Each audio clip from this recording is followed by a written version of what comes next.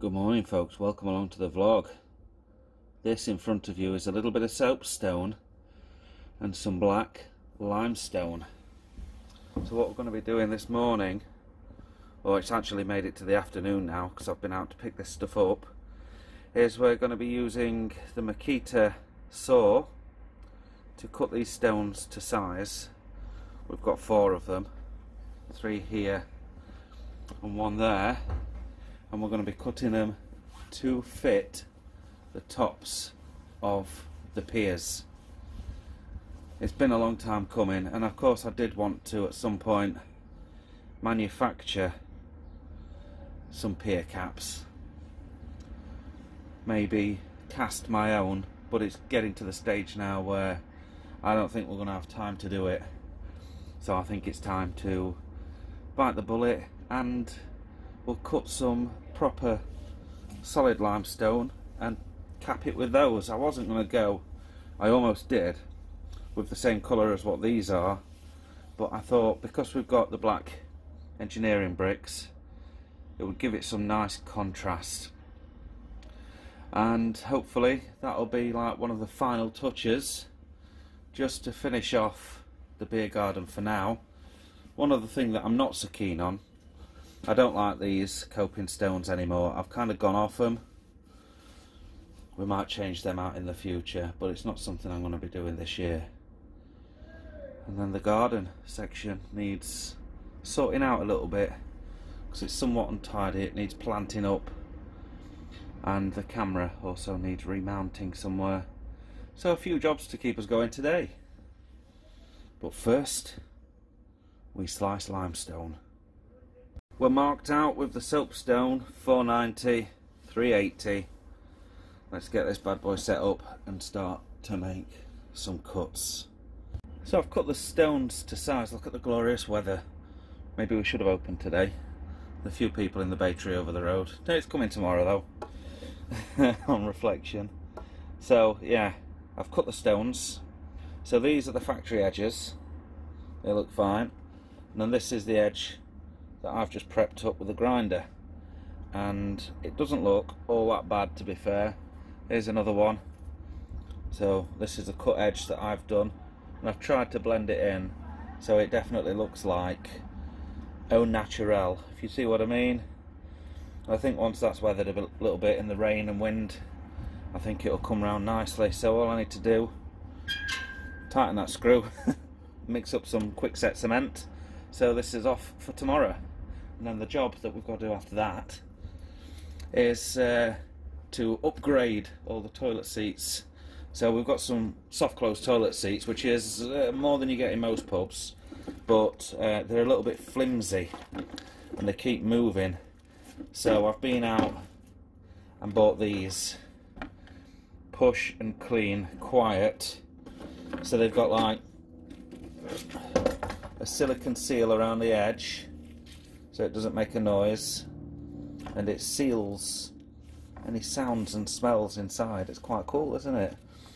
And also it has a quick detachment system so you push and lift the seat off and then the staff can get around the back and give it all a clean without pubes and horribleness getting stuck around the back of it. So hopefully they're worth the money. Cheeky brewski! Hey Gemma, look at that. It's like a um, a smile that says you shouldn't be doing that.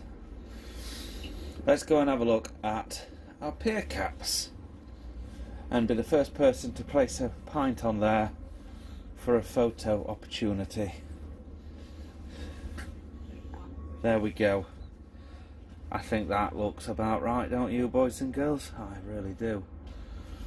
Nice little bed of cement. They're as level as I can get them, which is pretty level. And uh, time to move on to the next job, I think, which is installing these push and clean, quiet toilet seats. So Stuart's had a go at one already. Let's go in and have a look at how he's fared with it.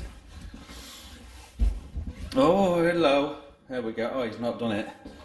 So yeah, silicon gasket on both the lid and the seat And I'm guessing, is this where he's begin to install it? Must be. Yeah, so those rubber grommets, ah, here we are. Here we are. So, I'm not exactly 100% sure how this all works. So I'll have to have a look on the instructions. But this is meant to be click and lift. That must be a spacer, so you get these in exactly the right position and then you just drop the seat on and place it downwards. And Robert's your mother's brother. But I won't be doing that right now. Yeah, and then it goes into those two holes on the back. Yeah, I'm not going to do that now because I'm going to go sit at the side of the canal and have a drink of Harrison's Best Bitter.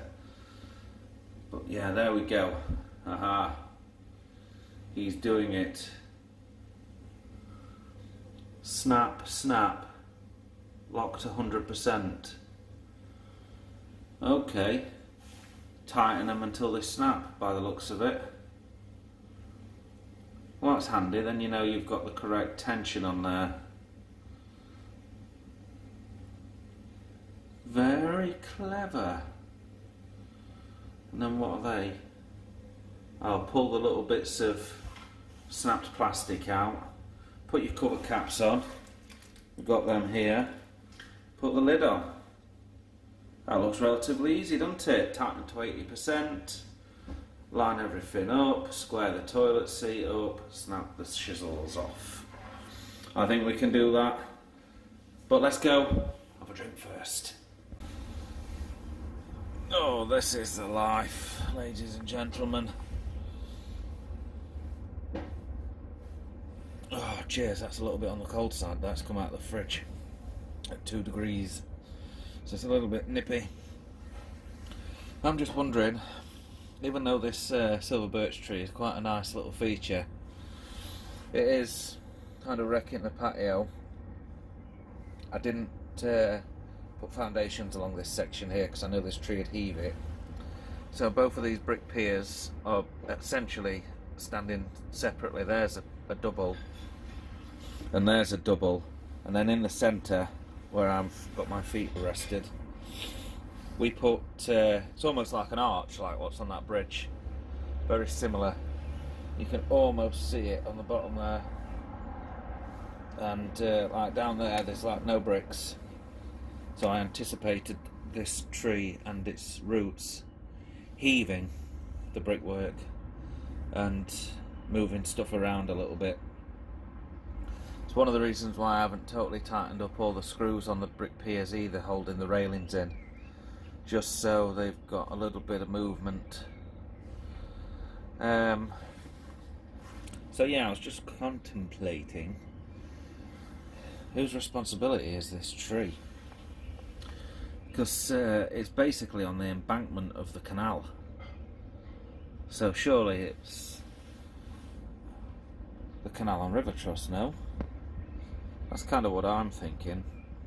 So I'm hoping I can get in touch with them. If Martin's watching this, he'll say, don't waste your time. But yeah, I think uh, if we can get in touch with them and ask them if we can get them to come out and remove it because it's quite quite a big old tree now. I think it's getting probably into its 20s or 30s and it's going to start doing damage not just to the wall but the roots are going to start heaving the patio and foundations of any of the nearby buildings. We'll see. I mean, if I'd not done so much already this year for other people's properties, I'd be tempted to shoot up there and chop it down myself. But I think that's probably a step too far. I get all the classy jobs. Goodness. I hope you weren't wearing headphones for that. That was extremely loud. Right, can I uh, get into this bag one handed? Oh god, left hand as well. my good hand. So in here we've got two of the connectors. These go into the toilet itself. I'll show you. Take this nut off, paying attention to which way it's orientated. It's got shoulders on the nut, they want to point down. So if you've got a big hole, you might be able to slide that whole thing through the hole in the toilet. But look at that, the shoulders on that, they point down the way. The shoulders on this nut, you see the rounded bit, that points down the way. And it all engages in that section there. You'll see what I mean in a moment, because I'm going to go and take this assembly, like that, and this with the little white thing goes on there, just like that. Same with the other one. And when we get the other one on there, we put this spacer bar on there to hold it into position. Right, we've got the two nuts on, and what we need to do now is just pop this little spacer on, and this allows us to tighten these nuts like 80%. And this spacer just allows us to find the correct width. Oh god, that's a bit tough. I always have moments of struggle in the bathroom. It's part of the course these days, but always helped with a copious amount of real ale. So there we go, we've got the right distance between these two pins. That's what we was looking for, that's the idea of that. Because it's less wieldy, I can only assume, than using the seat itself. And then what we're going to do with the seat is we're going to make sure that we're lined up both sides and that the seat stays back when it's up like that. Then there's a little rubber seal on here, we're going to make sure that sits nicely on the seat. And I think that's all nice, presented well at the back. Ladies and gentlemen, thank you very much. But yeah, I'm kind of happy with that. So what I want to do now is lift the seat up, then push down, wiggle side to side, and lift her back off. And off she comes. Now the trick is, we're going to tighten these two nuts up. So, I've tightened my nuts. I'm going to pop on these little protecting stainless steel caps. Probably just going to harvest turds and shit underneath them or something like that. And then uh, lid back on. Oh, I can see that the tightening situation has made one of these move slightly. Just a second. Right, well, I've readjusted them. But as you can see from the wetness of this, it took a trip down the turd tube and I had to fish her out. So I just had to wash my hands. Oh, you'd fucking dare, pal. Right, let's try this again. Yeah, it's still a bit tight, for fuck's sakes. Hold on.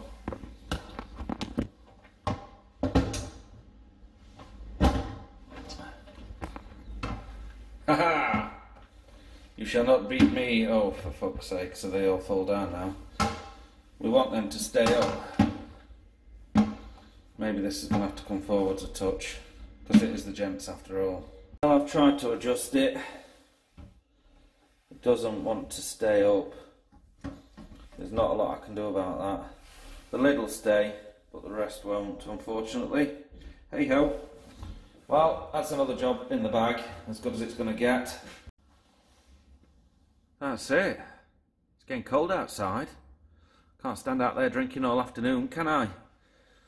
So I'm hot. I'm off home. Off home, folks. Toilet seats done. Coping done on the pier caps. Opening day tomorrow. Punters in. I'll be having a bit of a slurp on Saturday. maybe play a little bit of golf on Sunday, and then Monday we'll be in here and we'll be firing this lot up.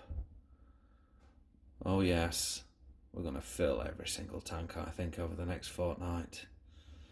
Maybe even a new beer. We shall see. Anyway, we'll see you on the next one, boys and girls. Wish me luck.